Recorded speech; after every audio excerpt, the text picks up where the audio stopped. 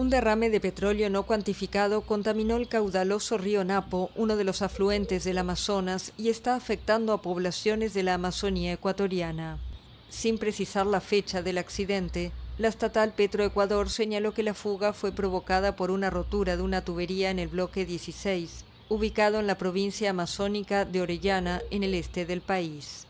Añadió que aunque se colocaron barreras de contención, el miércoles hubo fuertes lluvias en la zona, lo que provocó que una parte del hidrocarburo contenido en las barreras fuera arrastrado hacia el río Napo.